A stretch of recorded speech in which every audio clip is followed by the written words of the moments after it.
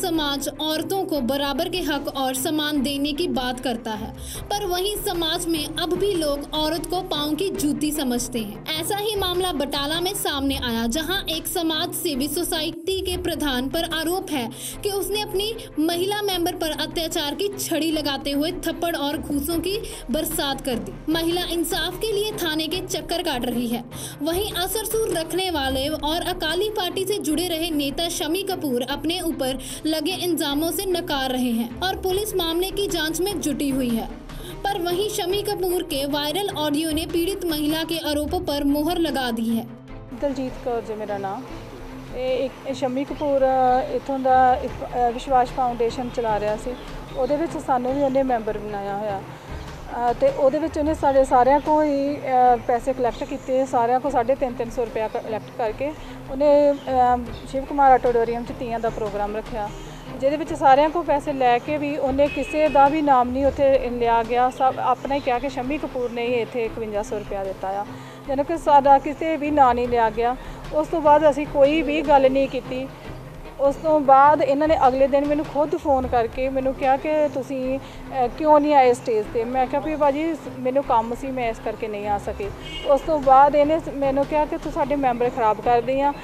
ਤੁਸੀਂ ਸਾਨੂੰ ਕੋਈ ਪੈਸਾ ਨਹੀਂ ਦਿੱਤਾ ਜਾਨੇ ਕਿ ਅਸੀਂ ਸਾਰੇ ਮੈਂਬਰਾਂ ਨੇ ਹੀ ਪੈਸੇ ਦਿੱਤੇ ਆ। ਉਸ ਤੋਂ ਬਾਅਦ ਮੈਨੂੰ ਇਹਨੇ ਬਹੁਤ ਗਾਲਾਂ ਗੁਲਾਂ ਕੱਢੀਆਂ ਤੇ ਮੈਂ ਉਸ ਗਾਲਾਂ ਕੱਢ ਕੇ ਮੈਂ ਆਪ ਖੁਦ ਫੋਨ ਕੱਟਿਆ। ਮੈਂ ਨੀਲਮ ਮਹਾਜਨ ਨੂੰ, ਉਹ ਸਾਡੇ ਸੰਸਥਾ ਦੇ ਚੇਅਰਮੈਨ ਸੀ, ਮੈਂ ਉਹਨਾਂ ਨੂੰ ਫੋਨ ਕੀਤਾ। ਮੈਂ ਕਿਹਾ ਕਿ ਇਦਾਂ ਮੈਨੂੰ ਇਹਨਾਂ ਨੇ ਗਾਲੀ ਗਲੋਚ ਕੀਤਾ।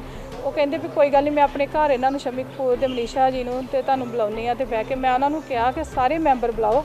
ਸਾਰੇ ਮੈਂਬਰ ਬੁਲਾ ਕੇ ਇੱਕ ਜਗ੍ਹਾ ਤੇ ਬੈਠ ਕੇ ਤੇ ਸਾਰਿਆਂ ਨਾਲ ਹੀ ਗੱਲਬਾਤ ਕਰੋ ਵੀ ਸਾਰਿਆਂ ਕੋਲ ਪੈਸੇ ਕਲੈਕਟ ਕੀਤੇ ਆ ਇਹਨਾਂ ਨੇ ਤੇ ਪਰ ਮੈਨੂੰ ਗਲਤ ਕਿਉਂ ਬੋਲਿਆ ਗਿਆ, ਮੇਰੇ ਨਾਲ ਗਾਲੀ ਗਲੋਚ ਕਿਉਂ ਕੀਤਾ?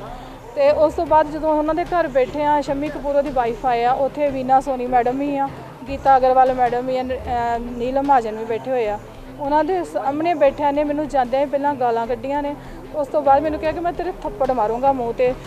ਤੇ ਬਹੁਤ ਗਲਤ ਸ਼ਬਦ ਬੋਲੇ। ਜਦੋਂ ਮੈਨੂੰ ਇੰਨੀ ਗੱਲ ਕਹੀ ਆ, ਮੈਂ ਕਿਹਾ ਵੀ ਕੋਈ ਵੀ ਕਿਸੇ ਔਰਤ ਨੂੰ ਹੱਥ ਨਹੀਂ ਲਾ ਸਕਦਾ ਤੇ ਇਹਨੇ ਉਹ ਮੇਰੇ ਫੇਸ ਦੇ ਉੱਤੇ ਬਹੁਤ ਜ਼ੋਰ ਨਾਲ ਥੱਪੜ ਮਾਰਿਆ। ਮੈਂ ਬੈੱਡ ਤੇ ਡਿੱਗ ਗਈ ਆ। ਉਸ ਤੋਂ ਬਾਅਦ ਇਹਨੇ ਮੇਰੇ ਸਿਰ ਦੇ ਵਿੱਚ ਬਹੁਤ ਮੁੱਕੇ ਮਾਰੇ, ਬਹੁਤ ਜ਼ੋਰ ਜ਼ੋਰ ਨਾਲ ਥੱਪੜ ਮਾਰੇ ਨੇ। ਉਸ ਉਸ ਤੋਂ ਬਾਅਦ ਮੈਂ ਉੱਥੇ ਹੀ ਆ, ਮੇਰੇ ਘਰਦਿਆਂ ਨੇ ਫੋਨ ਕੀਤਾ। ਉਸ ਤੋਂ ਬਾਅਦ ਅਸੀਂ ਐਸਐਸਪੀ ਸਾਹਿਬ ਨੇ ਦਰਖਾਸਤ ਦਿੱਤੀ ਹੋਈ ਆ, ਵੀਨਾ ਸੋਨੀ ਮੈਡਮ ਨੇ ਵੀ ਆਪਣੇ ਬਿਆਨ ਦਿੱਤੇ ਹੋਏ ਨੇ ਉੱਥੇ ਐਸਐਸਪੀ ਸਾਹਿਬ ਨੇ। ਤੇ ਮੈਂ ਚਾਹੁੰਦੀ ਹਾਂ ਕਿ ਜਿਹੜਾ ਇੱਕ ਔਰਤ ਜਾਤ ਦਾ ਇੰਨਾ ਅਪਮਾਨ ਹੋ ਰਿਹਾ ਹੈ, ਗੁੰਡਾਗਰਦੀ ਸ਼ਹਿਰ ਵਿੱਚ ਕਰ ਰਿਹਾ ਆ, ਕਿ ਇੱਕ ਪੰਜਾਬ ਸਰਕਾਰ ਇਸ ਦੇ ਕੀ ਚੁੱਕਦੀ ਆ ਕਦਮ, ਇਹ ਮੈਂ ਇਨਸਾਫ ਚਾਹੁੰਦੀ ਆ ਐਸਐਸਪੀ ਸਾਹਿਬ ਨੂੰ ਵੀ ਮੈਂ ਦਿੱਤੀ ਹੋਈ ਆ ਐਪਲੀਕੇਸ਼ਨ ਉੱਥੇ ਦਰਖਾਸਤ ਦਿੱਤੀ ਹੋਈ ਹੈ ਕਿ ਉਹ ਮੈਨੂੰ ਪੂਰੀ ਉਮੀਦ ਹੈ ਕਿ ਮੇਰੇ ਮੈਨੂੰ ਇਸ ਇਨਸਾਫ ਮਿਲੇਗਾ ਇਸ ਚੀਜ਼ ਦਾ। ਮੇਰੇ ਤੇ ਇਲਜ਼ਾਮ ਜਿਹੜਾ ਉਹਨਾਂ ਲਾਇਆ, ਉਹ ਬਿਲਕੁਲ ਬੇਬੁਨਿਆਦ ਹੈ। ਮੈਂ ਇਸ ਗੱਲ ਨੂੰ ਸਿਰੇ ਤੋਂ ਨਕਾਰਦਾ ਵਾਂ ਔਰ ਮੇਰੇ ਨਾਲ ਇਹਨਾਂ ਦੀ ਕੋਈ ਗੱਲ ਨਹੀਂ ਹੋਈ। ਗੱਲ ਮੇਰੀ ਵਾਈਫ ਨਾਲ ਹੋਈ ਆ। ਉੱਥੇ ਬੈਠਿਆਂ ਬੈਠਿਆਂ ਇਹਨਾਂ ਨੂੰ ਧੱਕਾ ਮਾਰ ਕੇ ਥੱਲੇ ਸੁੱਟ ਕੇ ਤੇ ਮੇਰੇ ਗਲੇ ਨੂੰ ਫੜਨ ਆਏ ਆ। ਤੇ ਨੀਲਮ ਭਾਈ ਨੇ ਇਹਨਾਂ ਨੂੰ ਜਫਾ ਮਾਰ ਲਿਆ ਵੀ ਇਹ ਕੰਮ ਨਾ ਕਰੋ। ਮੇਰਾ ਘਰ ਇਹ ਨਾਲੇ ਰਿਸਪੈਕਟੇਬਲ ਬੰਦੇ ਨੇ ਜੀ। ਉਹ ਦਲਜੀਤ ਕੀ ਕਰਦੀ ਪਈ ਹੈ ਇਹ ਗੱਲ ਉਹ ਵੀ ਗਵਾਹੀ ਦੇਣਗੇ। ਉਹ ਮੈਡਮ ਖੁਦ ਕਹਿਣਗੇ ਕਿ ਵਾਕਈ ਦਲਜੀਤ ਦੀ ਇਹਦੇ 'ਚ ਗਲਤੀ ਹੈ ਇਹ ਕਿ ਚੰਗੇ ਭਲੇ ਬੰਦੇ ਦੇ ਗੱਲ ਪੈਣਾ ਉਹ ਕਿੱਡੀ ਕੁ ਲਿਆਕਤ ਵਾਲੀ ਗੱਲ ਹੈ ਪੜ੍ਹੇ ਲਿਖੇ ਹੋ ਤੁਸੀਂ ਟੀਚਰ ਹੋ ਕਮ ਸੇ ਕਮ ਸੈਂਸ ਰੱਖੋ। ਮੈਂ ਤਾਂ ਕੋਈ ਗੱਲ ਨਹੀਂ ਕੀਤੀ।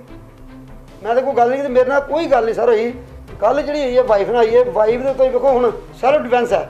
ਸੈਲਫ ਡਿਫੈਂਸ ਦੇ ਵਿੱਚ ਤੇ ਵੇਖੋ ਮੈਨੂੰ ਕੋਈ ਮਾਰਨਾ ਹੈਗਾ ਤੇ ਮੈਂ ਉਹਨੂੰ ਆਪਣਾ ਬਚਾਅ ਤੇ ਕਰਨਾ ਹੀ ਹੈ ਨਾ। ਹੁਣ ਮੇਰੀ ਵਾਈਫ ਨੂੰ ਨਹੀਂ ਮਾਰਿਆ ਮੈਂ ਤੁਸੀਂ ਆਪਣਾ ਬਚਾਅ ਕੀਤਾ। ਨਾ, ਨਾ। ਦੌਰਾਨ ਉਹ ਸੱਟਾਂ ਲੱਗੀਆਂ। ਮੇਰੇ ਨਾਲ ਨਾ ਮੇਰੇ ਨਾਲ ਨਹੀਂ ਕੋਈ ਗੱਲ ਹੋਈ।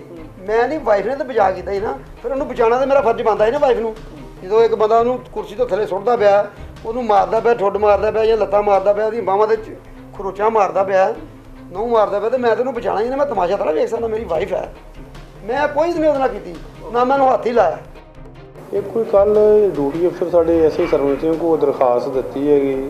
ਬੀਬੀ ਦਲਜੀਤ ਕੌਰ ਵਾਈਫ ਉਹ ਗੁਰਮੇਸ਼ ਸਿੰਘ ਘਾਦੀਆਂ ਰੋਡ ਨੇ। ਤੇ ਵੀ ਮੇਰੇ ਜਿਹੜੀ ਆ ਸ਼ਮੀ ਕਪੂਰ ਆ ਉਹਨੇ ਕੁੱਟਮਾਰ ਕੀਤੀ ਆ ਇਹਨਾਂ ਦਾ 23 ਦਾ ਜਿਹੜਾ ਰਿਜ਼ਲਟ ਆਇਆ ਐਸਆਈ ਸਰਵਨ ਕੁਮਾਰ ਡੀਲ ਕਰਨ ਡਏ ਆ ਜਿਹੜੀ ਧਾਰਾ ਦੇ ਤਹਿਤ ਜੋ ਵੀ ਇਹਨਾਂ ਦੇ ਬੈਠ ਕੇ ਕੰਪਰੋਮਾਈਜ਼ ਹੋਊਗਾ ਕੰਪਰੋਮਾਈਜ਼ ਜੋ ਬਣਦੀ ਕਾਰਵਾਈ ਕੀਤੀ गुरदासपुर से सीवा न्यूज के लिए जतेंद्र कुंदल की रिपोर्ट